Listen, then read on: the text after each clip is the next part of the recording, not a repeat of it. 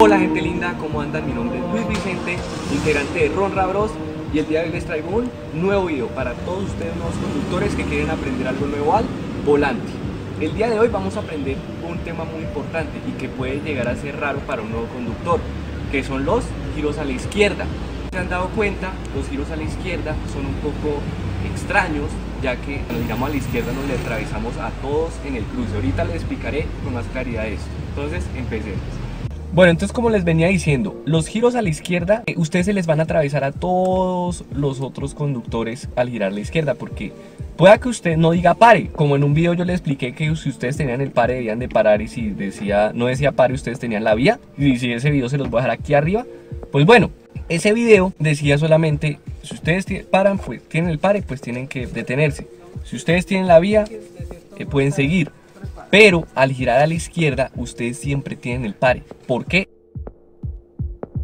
Ya ahorita les explicaré cómo sería un ejercicio al girar a la izquierda para ustedes que nunca han girado a la izquierda, de pronto algún día giren a la izquierda, se eviten un accidente o un susto porque de pronto se le atraviesan otro carro, ese otro conductor, pues ustedes saben que la tolerancia en la vía es algo que en estos países eh, de Latinoamérica no existe mucho la tolerancia de los conductores, entonces obviamente ustedes se atraviesan a otro conductor, pueden o tener un accidente o tener un, un lío, una pelea con otro conductor porque pues supuestamente se le atravesaron y es verdad, él tendría razón, ustedes se le atravesaron, ¿ok?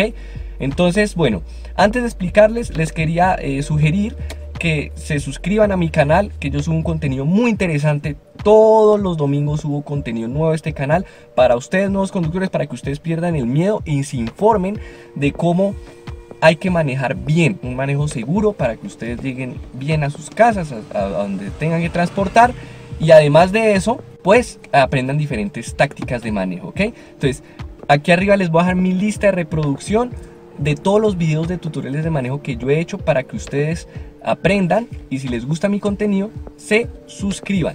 Bueno, entonces, para explicar lo anterior, bueno, lo primero es que ustedes tienen que dar cuenta es que hay dos líneas amarillas en la mitad de la vía, ¿cierto? Y se pueden dar cuenta que es doble vía. Y siempre que haya doble vía, ustedes tienen que hacer por su derecha, que hay un pare. Entonces aquí debo de vigilar quién viene. Nadie viene por la izquierda, nadie viene por la derecha, puedo seguir, puedo continuar.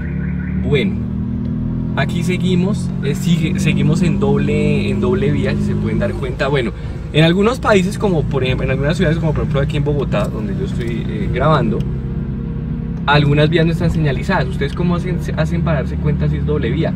Porque las señales a la derecha están mirando hacia ustedes y a la izquierda están al revés. ¿Listo? Entonces así ustedes se pueden dar cuenta si es doble vía o no. Aquí vamos a girar a la izquierda.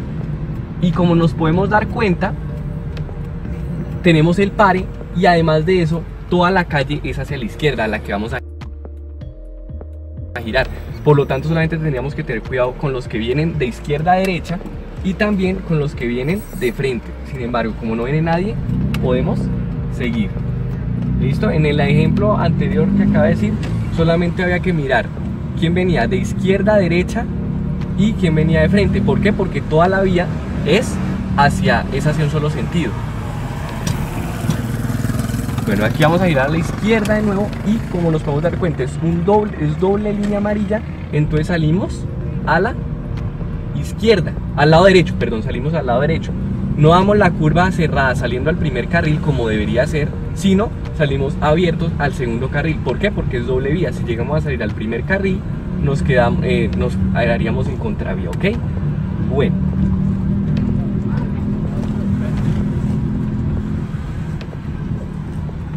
Ahora, por ejemplo, aquí vamos a girar a la derecha para que ustedes vean la diferencia. Al girar a la derecha, tenemos la vía acá porque no dice pare y simplemente salimos a nuestro primer carril. Simplemente tenemos que salir a nuestro primer carril. Ahí no interferimos con nadie para que ustedes vean la diferencia entre girar a la izquierda y girar a la derecha. Ahorita giramos a la derecha, no pasó nada. Simplemente salimos a nuestro primer carril, tenemos la vía que vamos a girar a la izquierda. Además de que vamos a girar a la izquierda, tenemos el pare. Entonces aquí hemos de detenernos Mirar primero que todo, ¿quién viene de frente? No viene nadie. Luego miramos quién viene de izquierda a derecha. Tampoco viene nadie. Y miramos quién viene de derecha a izquierda. Pero ahí sí viene alguien. De derecha a izquierda vienen. Ahora viene alguien de izquierda a derecha. Tenemos que esperar. Bueno, y si se demoran mucho.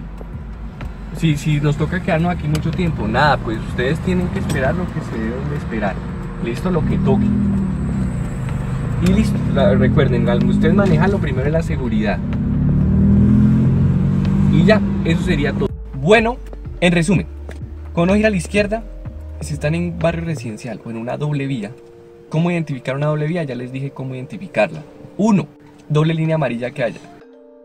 Dos, una línea continua amarilla. O bueno, depende en su país cómo la identifiquen, pero pues eso es, creo que es general. Tres, si no está demarcada la vía, pues fácil, ustedes miran que las señales de tránsito estén al revés. Si están al revés y si al, lado derecho están al derecho, o sea, ustedes las pueden mirar, y al lado izquierdo están al revés, es porque es una doble vía. Entonces, recuerden, si cuando ustedes giran a la izquierda, no pueden salir al primer carril como generalmente debería hacerse, sino tienen que salir al segundo carril porque tienen que salir al lado de la derecha, ¿ok? Es por esa razón. Otra cosa, siempre que giren a la izquierda, ustedes van a tener una interferencia, tanto con el que viene de frente, como con el que viene de derecha a izquierda, como con el que viene de izquierda a derecha.